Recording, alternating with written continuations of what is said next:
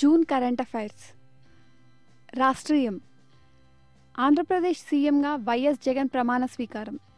ఆంధ్రప్రదేశ్ రెండవ ముఖ్యమంత్రిగా వైఎస్ఆర్సీపీ అధ్యక్షుడు ఎడుగూరి సన్నింటి జగన్మోహన్ రెడ్డి మే ముప్పైన ప్రమాణ స్వీకారం చేశారు.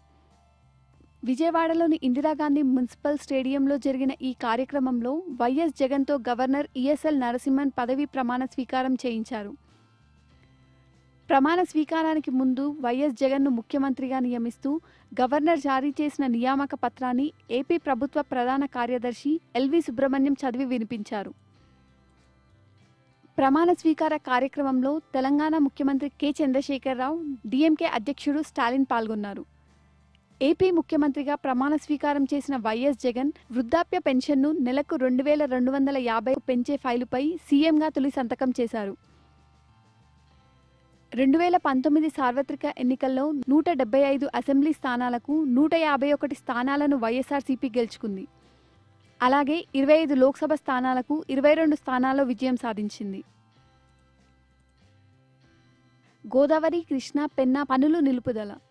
గోదావరి కృష్ణా పెన్నా నదుల అనుసంధాన పనులను నిలిపివేయాలని జాతీయ హరిత ట్రిబ్యునల్ మే ముప్పై ఒకటిన ఆదేశాలిచ్చింది. నదుల అనుసంధాన పనులకు పర్యావరణ అనుమతులు లేవని ఆ అనుమతులు వచ్చే వరకు ఎటువంటి పనులు చేపట్టకూడదంటూ పేర్కొంది. ఈ నదుల అనుసంధానానికి గత ఏపీ ప్రభుత్వం ఎలాంటి పర్యావరణ అనుమతులు తీసుకోలేదని మాజీ మంత్రి వట్టి వసంతకుమార్ ఎన్జీటీని ఆశ్రయించారు. ఈ కేసును విచారించిన జస్టిస్ ఆదర్శకుమార్ గోయల్ నేతృత్వంలోని బెంచ్ ఈ మేరకు ఉత్తర్వులిచ్చింది.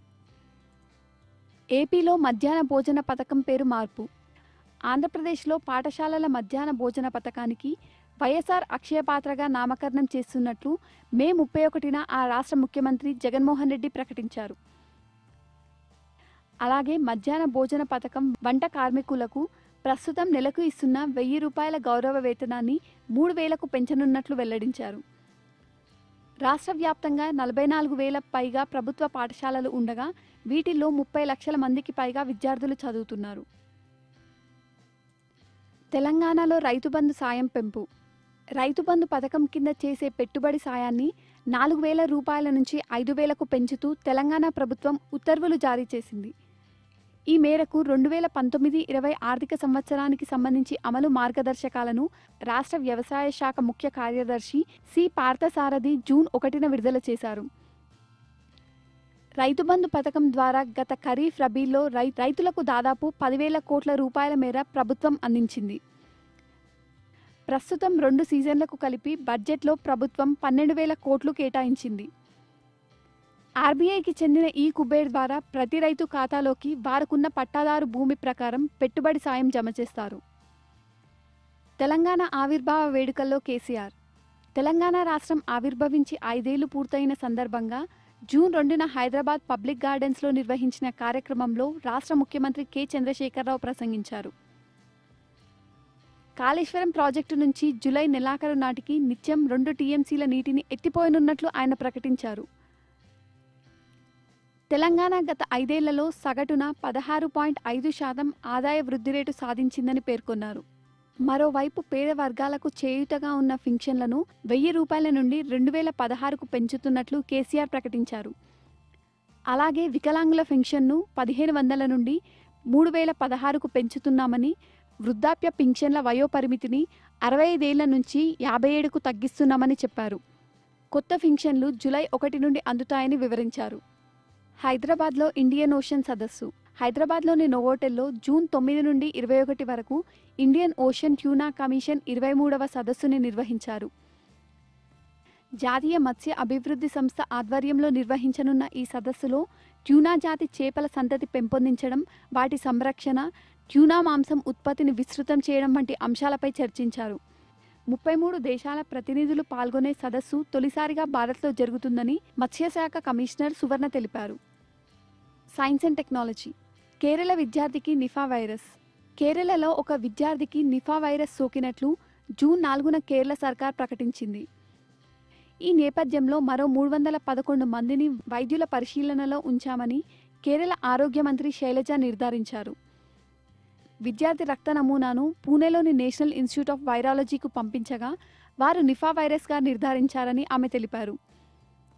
ఆ విద్యార్థి ఆరోగ్యం స్థిరంగా ఉందని ఎటువంటి ఇబ్బందికర పరిస్థితి లేదని ఆమె తెలిపారు. ఆస్ట్రేలియాలో తయారైన యాంటీ నిఫా మందును కేరళకు పంపిస్తున్నామని కేంద్ర ఆరోగ్య మంత్రి హర్షవర్ధన్ హామీ ఇచ్చారని శైలజ వెల్లడించారు. తెలంగాణ పోలీసులకు పథకాల ప్రకటన. తెలంగాణ రాష్ట్ర అవతరణ దినోత్సవం సందర్భంగా రాష్ట్ర హోంశాఖ పలువురు పోలీసులకు జూన్ ఒకటిన పథకాలను ప్రకటించింది.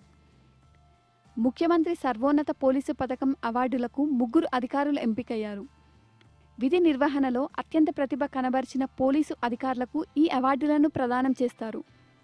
అవార్డు పొందిన వారిలో M Ramana Kumar ASP M Gangadhar inspector Cyberabad M Sridhar Reddy inspector IT Rachakonda ఉన్నారు. దక్కన్ సొసైటీకి ఈక్వేటరీ అవార్డు. తెలంగాణలోని సంగారెడ్డి జిల్లా జహీరాబాద్ సమీపంలోని డీడీఎస్కి ఈక్వేటరీ అవార్డు లభించింది. రెండు వేల పంతొమ్మిది సంవత్సరానికి గాను ఇరవై సంస్థలను ఈ అవార్డుకు ఎంపిక చేయగా వాటిలో డీడీఎస్ సంస్థ ఉందని ఆ సంస్థ సంచాలకుడు పివి సతీష్ తెలిపారు. ఐక్యరాజ్య సమితి అనుబంధ సంస్థ అయిన యునైటెడ్ నేషన్స్ డెవలప్మెంట్ ప్రోగ్రాం ఏటా ప్రపంచవ్యాప్తంగా పర్యావరణవేత్తలు పర్యావరణ పరిరక్షణకు కృషి చేసే సంస్థలను గుర్తించి ఈ అవార్డును ప్రకటిస్తుంది. Sundar పిచాయ్కి global leadership award. Google CEO Sundar పిచాయ్కి global leadership award రెండు వేల పంతొమ్మిది లభించింది. అమెరికా భారత వాణిజ్య మండలి ప్రతి ఏటా ఇచ్చే ఈ అవార్డుకు పిచాయ్తో పాటు నాస్డాక్ అధ్యక్షుడు అడేనా ఫ్రైడ్మ్యాన్ కూడా ఎంపికయ్యారు. ప్రపంచ సాంకేతిక రంగ అభివృద్ధికి ఇరు కంపెనీలు అందిస్తున్న సేవలకు గాను వారిని ఈ అవార్డుకు ఎంపిక చేసినట్లు యుఎస్ ఐబీసీ వెల్లడించింది.